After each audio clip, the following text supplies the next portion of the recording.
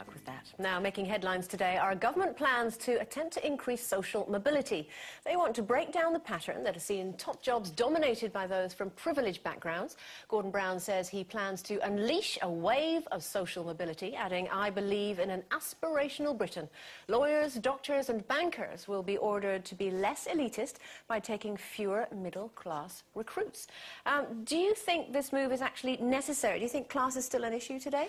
I do. I honestly do, and I think it is an issue, and I think it's it's a good thing to encourage people to inspire. And I, I think that if this can move move the class system out, then great. But I, when I was growing up, it was very apparent um, because.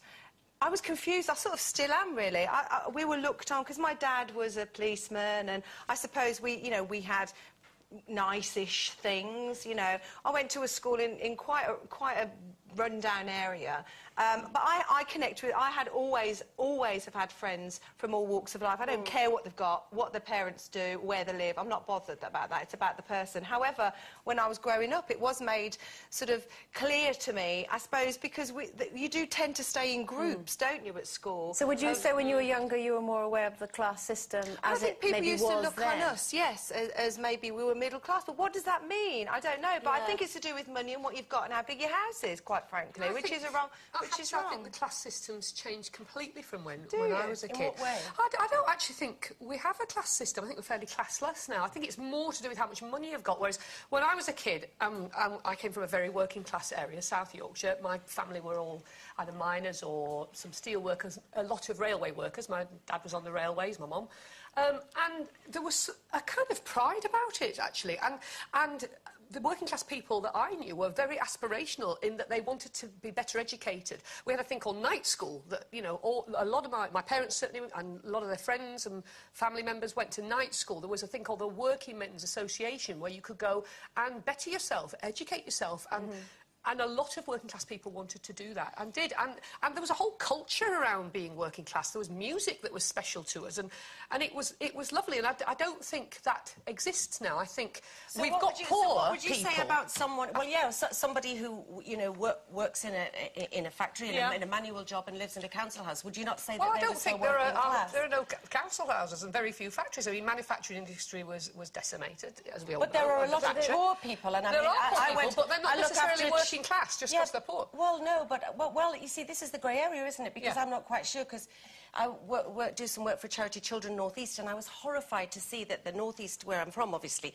has the highest rate of child poverty in this country. Mm. Now, I would consider where those people live in those conditions are, are still working class. Mm. It's interesting, though, because Tim um, now, obviously, he has done well as an actor, and, and we have a, you know, a, we have a nice house.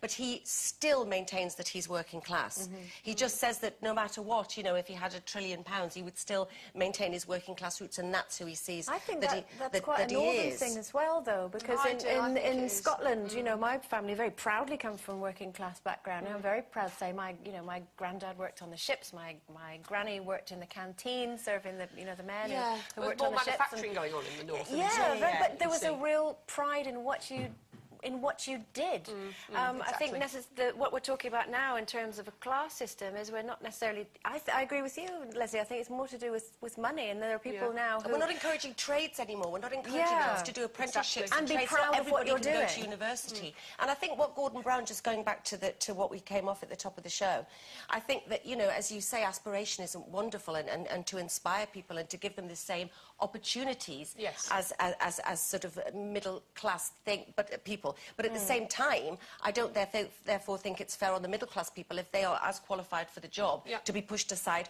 purely because somebody from working class. But I don't get this thing about, about uh, middle-class children uh, being more likely to get the top jobs. I don't understand that because I, I just know because my nephews have been going for, for job after job recently and, and friends of mine whose kids have qualified and they're all getting really good degrees but, but what sorts them out is the ones that are determined, the ones that, mm. that really want the work, the ones that are able to still push themselves forward. And I think that's, that's there's nothing class driven I think, about that. I think it's before, about the years individual's before, when you used to talk about you know different classes, a lot of it was to do with what the different jobs were that say the man of the house had, and a lot of that you know we're talking about manual labour or, or, or what have you, or trades. Um, but nowadays, I don't think it is to do with that. A lot of the children who are going to private schools, their their parents are what we would Lorry call people who were yeah plumbers. lorry drivers, plumbers, Yeah. builders, Yeah, or taxi mix. drivers, what have you. And I think that's a good thing because it means then that children whose parents come from a whole diverse range, you'll get kids whose dad's a plumber mixing with kids whose dad's a barrister, but everybody's trying to push their children forward and give them the best possible start in And life. It doesn't good. matter where you come It- from, the as long point. as it you're doesn't trying matter. to do that. Yeah, Exactly. and I think as long as people, you know, get the chance to do that and push their children Yes, forward, then a allowed the thing. opportunities if they want. Absolutely. Yeah. We're not going to do that. Okay. Uh, time